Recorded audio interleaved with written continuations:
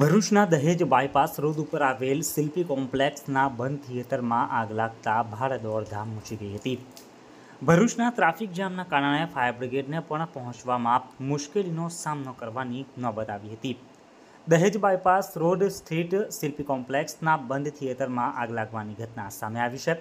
Theatre કોમ્પ્લેક્સમાંથી ધુમાડા નીકળતા fire બ્રિગેડને જાણ કરવામાં આવી હતી. જોકે સદનસીબે થિયેટર બંધ હોવાથી કોઈ જાનહાનિ થવા પામી ન હતી.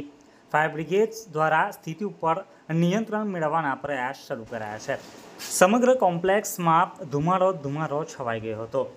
બનાવ અંગે પ્રાપ્ત થતી માહિતી અનુસાર આજે રાત્રે સાડા આઠ કલાકે દહેજ બાયપાસ રોડ સ્થિત આવેલ શિલ્પી કોમ્પ્લેક્સના બંધ થિયેટરમાં આગ લાગવાની ઘટના સામે આવી હતી.